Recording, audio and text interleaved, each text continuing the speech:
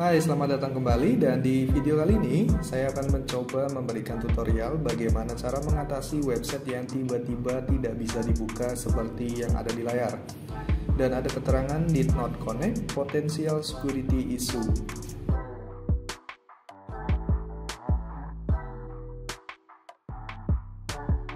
Yang perlu kamu lakukan adalah login dan masuk ke member area penyedia hosting dan domain kamu ya.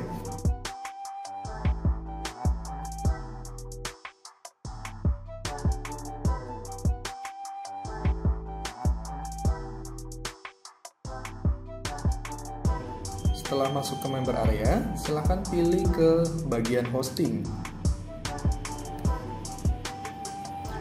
Lalu pilih hosting yang akan kita coba cek. Kalau sudah, kita masuk ke halaman si panelnya ya. Setelah masuk di halaman si panel, kalian tinggal search ya atau cari SSL, kemudian pilih yang ini ya. Lalu kita pilih domain yang error tadi. Nah kemudian kita centang domain yang terdapat logo merah seperti ini ya. Setelah itu kita lari ke atas dan klik Run Auto SSL. Tunggu beberapa saat. Dan berhasil ya seperti ini. Lalu kita coba cek.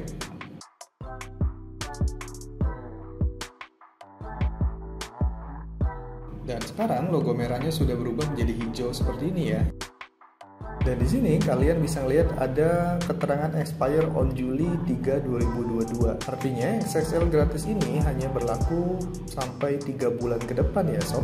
Sekarang kita mau lihat apakah websitenya sudah on kembali atau belum.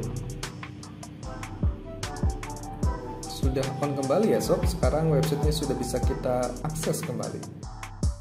Dan itulah cara bagaimana mengatasi website yang tiba-tiba tidak bisa diakses karena SSL-nya bermasalah atau tidak aktif atau sudah expired. Semoga bermanfaat. Jangan lupa subscribe, like, dan komen ya.